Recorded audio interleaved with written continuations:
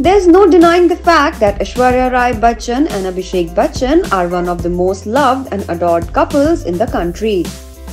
After a fairy tale romance, the duo decided to exchange wedding vows on April 20, 2007.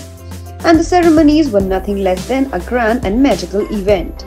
From exclusive wedding decor to high profile guest list to grandeur pre wedding functions and wedding outfits, each and every aspect of their wedding shelled out royalty. For the wedding, Aishwarya followed her Mangalorean culture and opted for a traditional Kanjeevaram sari designed by ace designer Neeta Lulla. The gorgeous golden sari was made in Swarovski crystals with a lot of real gold thread work. The entire sari costed a whopping amount of rupees 75 lakhs. The Bachchan Bahu's wedding sari has been one of the most expensive outfits worn by an actress at her wedding so far.